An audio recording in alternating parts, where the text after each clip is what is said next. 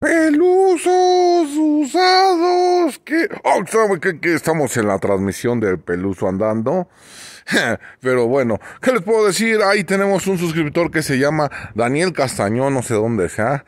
Nos pregunta, oye Peluso, ¿cómo puedo calibrar los, eh, los mandos que hacen que prendan los focos de atrás de la cuatrimoto itálica 180?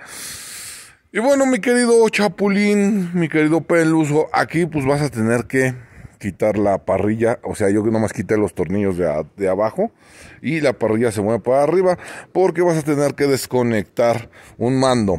Pero nos vamos a este mando que está más sencillo, el de adelante es, es el más sencillo y el más fácil.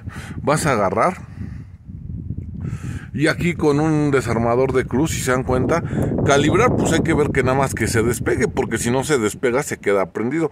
Ahí está un micro switch. Vamos a ver, peluso. Peluso, necesitamos la luz.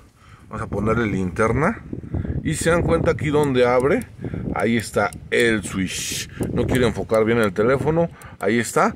Si, si está sucio, mugroso, lo puedes quitar y lo puedes limpiar con carbuclin, perdón, con afloja todo. Ay, no sé qué se cayó, pero ah, era, es el bujecito. Cuidado, no se les vaya a caer el bujecito como a mí. Y automáticamente aquí lo tienes. Lo limpias con afloja todo. No te recomiendo que lo desarmen, lo puedes meter en afloja todo. O si lo puedes desarmar con mucho cuidado, porque si no, y si no quieres hacer marranadas, como el peluso, pues lo vas a cambiar. Ahí está, ese, ese, ese es de los frenos traseros. Pero con cualquiera de los dos que detecte que estás frenando, pues automáticamente, automáticamente, eh, automáticamente van a prender las luces. Y de hecho nos vamos acá que estoy viendo que mi chicote creo que ya se deshizo. Voy a tener que comprar chicote, voy a ver ahorita. Nos vamos acá. Esta es la bronca, no, es pelusa. eh, eh, vamos a tener que checar acá. Hay que quitar la parrilla y desconectar estos. Estos nada más se, sacan con cuidado jalándolos en unos conectores. Igual. ¿Para qué los zafamos peluso? Porque este entra diferente. Si se dan cuenta el cable está aquí. Señor cable aquí está. No sé si no lo vieron, pues ni modo. Y este lo vas a empujar para adelante. Para adelante.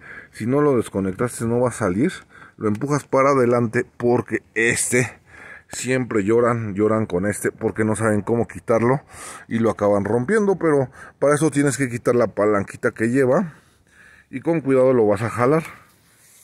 Y ahí está, ahí sale peluso, ahí sale, aquí está este condenado, igual si se dan cuenta, ahí está el mecanismo por el hoyito, igual se limpia este no te recomiendo que lo desarmes, pero si lo puedes limpiar con afloja todo también o limpiador de contactos.